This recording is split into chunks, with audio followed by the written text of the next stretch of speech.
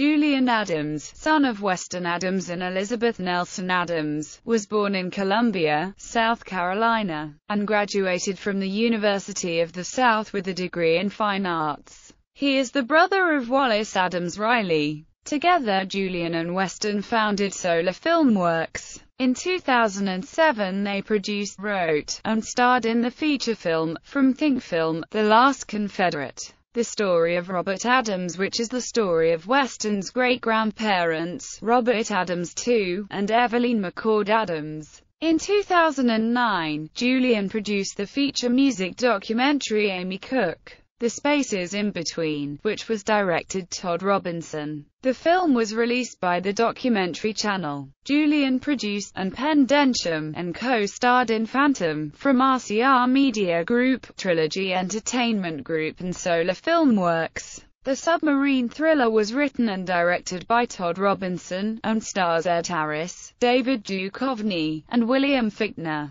He is producing and acting in The Last Full Measure, from Trilogy Entertainment and Solar Filmworks, written and directed by Todd Robinson, and starring Morgan Freeman, Robert Duvall, Andy Garcia, and Laurence Fishburne. The Last Full Measure tells the story of Air Force PJ William H.